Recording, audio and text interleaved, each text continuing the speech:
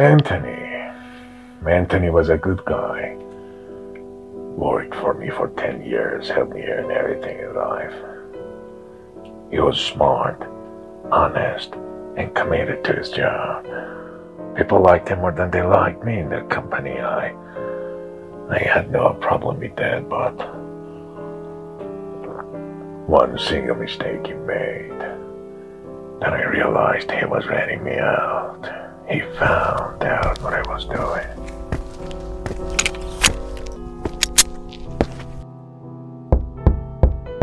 I'm coming. Poison. Oh, dear Anthony. You were too good to be in this business. It was me.